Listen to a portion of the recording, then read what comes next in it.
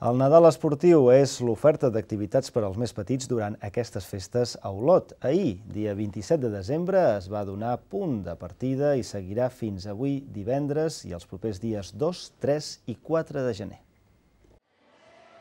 Ahir es va donar el punt de partida al Nadal esportiu, la nova oferta d'activitats esportives per als més petits des de l'Ajuntament d'Olot. Agafant el relleu del llop que s'havia dut a terme altres anys, el Nadal esportiu s'ha passat al pavelló firal per intentar crear el màxim d'espais possibles perquè els infants tinguin l'oportunitat de jugar i aprendre durant aquestes festes. Des de l'àrea d'esports han volgut fer un canvi en el que és el Nadal esportiu.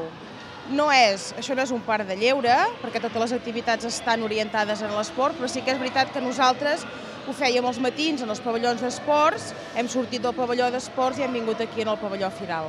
Volíem oferir als pares que es poguessin portar els nens a fer esport, perquè aquest, normalment aquests dies són molt sedentaris. Llavors, hem intentat muntar 10 espais diferents.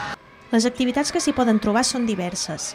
Un camp de voleibol, una cistella electrònica de bàsquet, una zona de tallers, un circuit d'habilitat i col·laboració, un espai de lleure amb tenis taula i futbolí, un castell inflable i una part on s'hi practica futbol i sumo bombolla i hockey. El principal objectiu seria promoure una mica l'activitat física, no?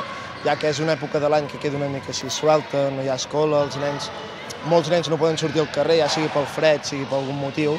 Aprofitem aquest espai tan maco com és aquí al pavelló Firal, muntem quatre activitats, nosaltres estem ben bé aquí per dinamitzar una mica i el que, el que busquem entre els nens és que es puguin divertir, puguin estar una mica lliures per aquí i jugar i bàsicament passar-s'ho bé i disfrutar.